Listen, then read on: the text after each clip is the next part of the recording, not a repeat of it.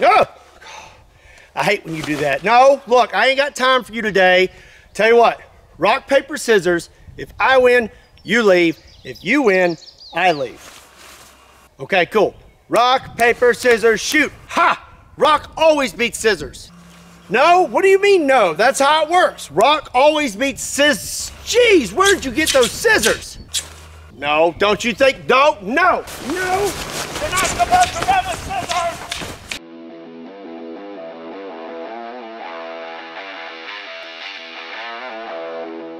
What's up everybody? My name is Scott and you're watching Kentucky Ballistics. We're back out on the range and today I got something really cool for you. The other night I was watching TV and they were doing a ribbon cutting. They had giant scissors and I was like, I wonder if I can find a pair of those. So naturally, got on the internet and I found these. these are giant giant scissors. They're 36 inches long. This is real steel. You got these giant plastic grips and they say that they function like real scissors. You can cut stuff with this. So before we shoot them, let's try them out real quick. Okay, let's see if we can cut something with these. Oh man, that's ridiculous. That's a good little limb there. How about you? Ah, just a little off the top. Let's try a thicker branch. Oh, may have met its match. Oh! Ow! That's pretty impressive. Huh, I want to try one more. Oh, oh, about broke our scissors. All right, I think we should stop. That's a pretty big limb. I'm impressed. All right, well, now let's go see if they'll stop a bullet. Okay, well, let's get these things set up. Luckily, it came with this nifty little stand.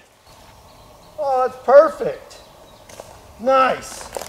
I tell you what, I'm gonna angle them just a tad. So if we were to have a ricochet, it should go that way.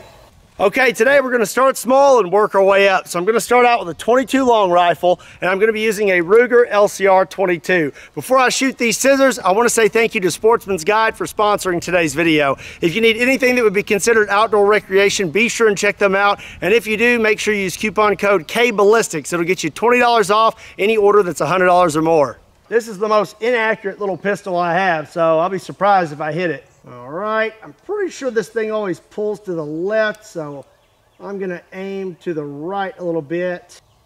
Hey, all right, I was right. It pulls to the left. I was aiming to the right.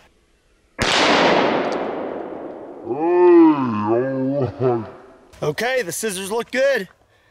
There's where we hit with a 22 and uh, didn't even put a dent. Okay, up next is 9 millimeter, and I'm gonna be using a Glock 19. Oh my goodness. Okay, well, the plastic handles, they don't seem to be too tough. Oh dear. Oh my goodness. Okay, so uh, that didn't really work out the way I wanted it to. Um, uh, let's see here. So these scissors, there we go. They were like this. And here's where I hit with the nine millimeter and then the handles shattered. And for the record, uh, the nine mil did not do anything to these scissors. Okay, up next is 45 ACP and I'll be using a Springfield 1911. Oh, well, these scissors don't seem to be very tough because now they they broke in half.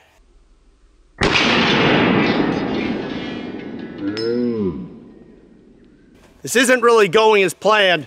Hmm. Okay, well, here we go. Um, yep.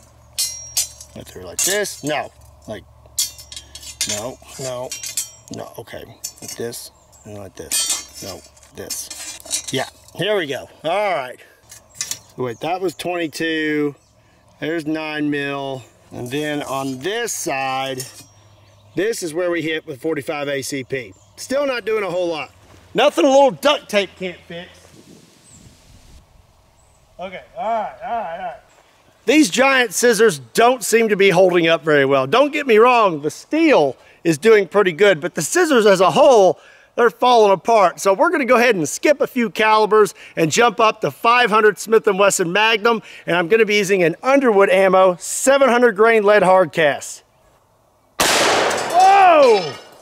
Well, there's definitely not a whole lot of them left anymore.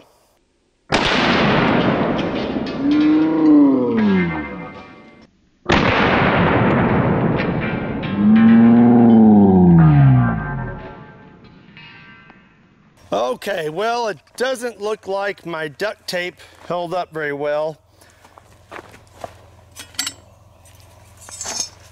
That is one bent blade. Oh, we broke this one. Yeah, yeah, that one broke.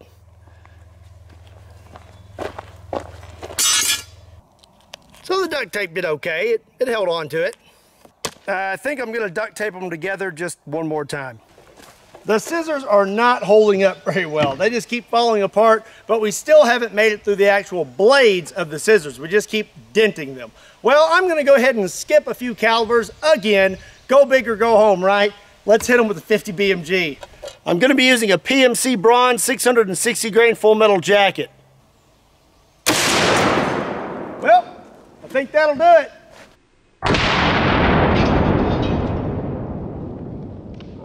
Okay, well, oh yeah.